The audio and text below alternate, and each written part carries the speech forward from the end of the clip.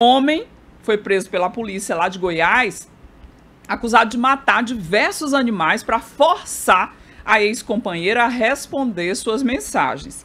A vítima passou a receber as fotos enviadas pelo ex. Pessoal, tira essa imagem da tela, pessoal. Tira essa imagem da tela. psicologicamente. Dentre as imagens, ele compartilhou fotografias do coelhinho de estimação da vítima, Meu Deus já sem vida Aí, diante desse ato cruel, a mulher ficou desesperada. Em seguida, recebeu mais imagens perturbadoras, dessa vez retratando as calopsitas. São aqueles pássaros, né? É, o que tem um topetezinho hum. muito fofo.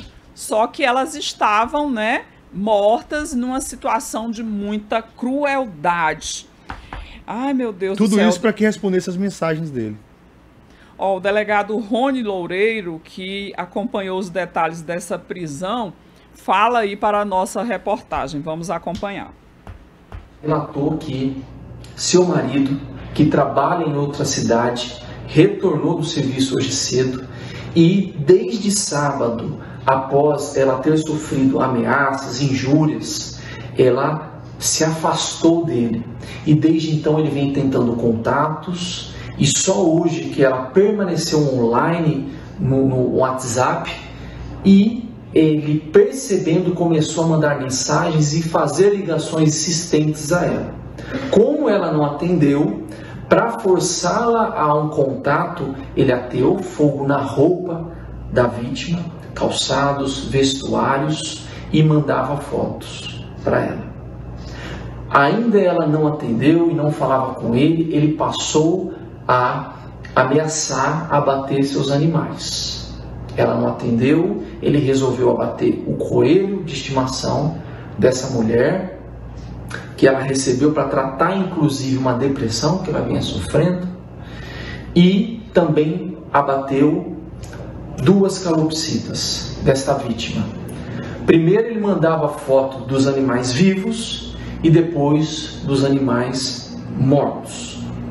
A partir desta notícia, com a informação de que ele poderia estar na rodoviária de Lusiânia, porque ele iria se dirigir ao seu trabalho na cidade de Silvânia.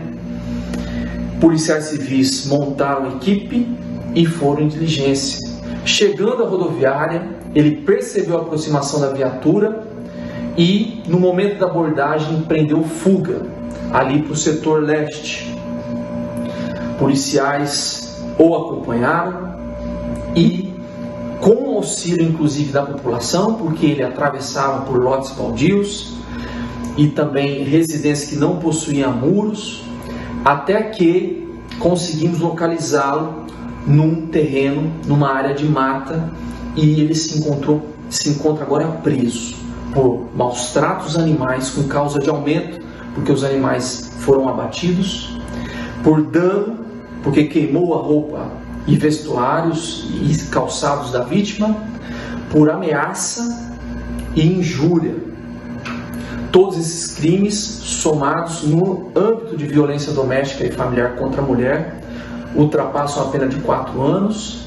Tentou fugir da polícia e é incabível qualquer outra medida cautelar de caráter pessoal, senão a prisão preventiva para preservar a vida, integridade e fazer valer as medidas protetivas de urgência em favor dessa mulher. Olha, ele. É, esclarecimentos aí do delegado sobre esse caso, Renato, que é estarrecedor. É, de parabéns à polícia que conseguiu evitar um feminicídio, né? Eli, Seria o próximo passo. Eu queria fazer uma analogia aqui que eu considero muito grave, por incrível que pareça comum. A gente já noticiou aqui várias vezes, né? Ex-companheiros que mataram os filhos e depois a companheira. Você acabou de falar de evitar um feminicídio, né? E isso é mais comum do que se imagina. Agora, o camarada, como não tinha filho com a companheira, com a ex-companheira, estava matando os animais dela.